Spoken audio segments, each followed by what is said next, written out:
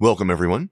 In this video, we're going to make edits to images using local adjustments.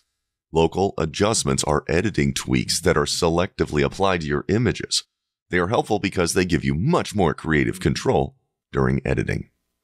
For the workflow in this video, we are using our award-winning photo editing and organizing application, Exposure. You can download the free trial from our website if you don't already own a copy. Exposure uses a unique layer system that is completely non-destructive.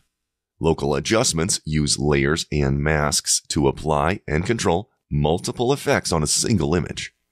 Learn more about using the system in our Working with Layers video. In this video, we focus on using the tools that create the masks to apply adjustments where you designate. There are three main ways to draw a mask in exposure the brush, gradients, and selections. Each of these types can be used together in as many combinations as you can imagine. The brush is the easiest local adjustment tool to master. It enables you to create simple selections for adjustments. The effects on the layer will only apply to the area you brush.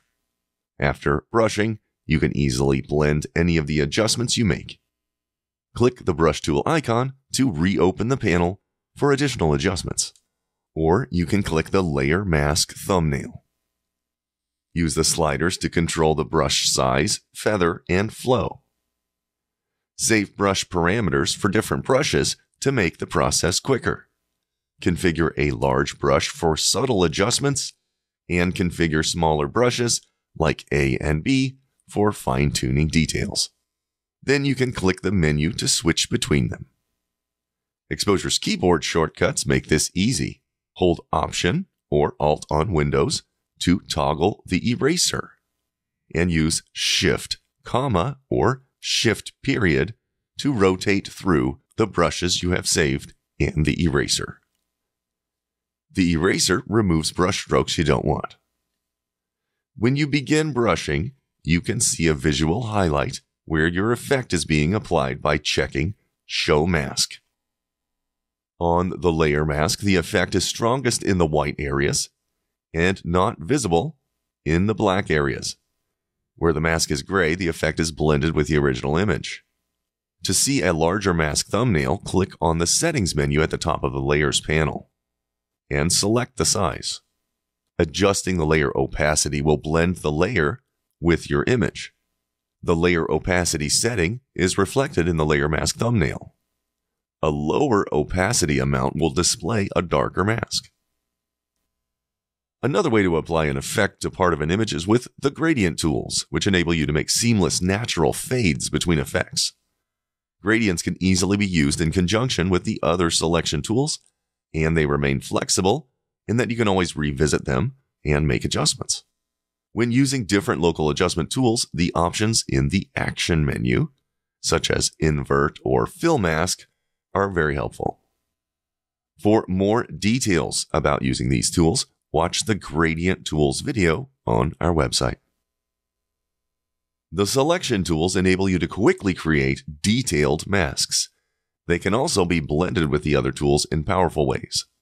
Selections can isolate an object in the foreground from being affected by effects applied to the background. Or they can be used on only the subject and not the background.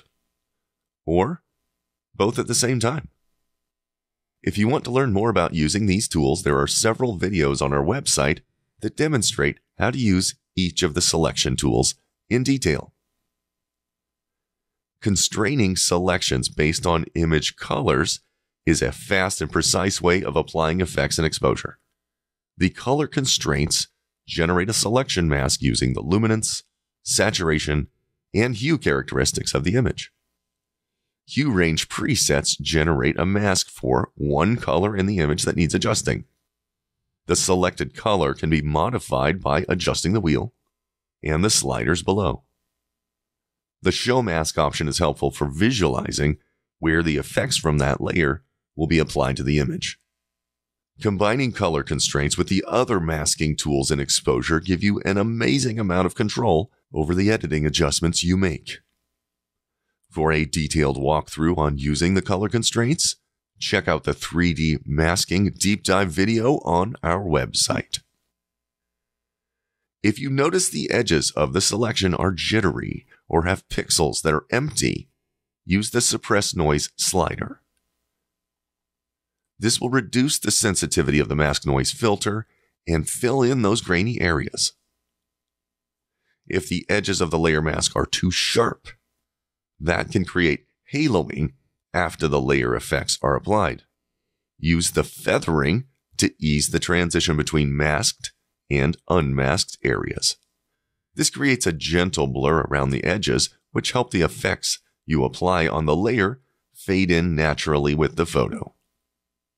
As you can see, making local adjustments in exposure gives you total creative control over your images.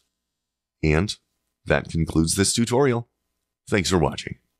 For more information about exposure or to download the free trial, visit our website, exposure.software. Subscribe to our channel on YouTube for the latest updates about all our new video content.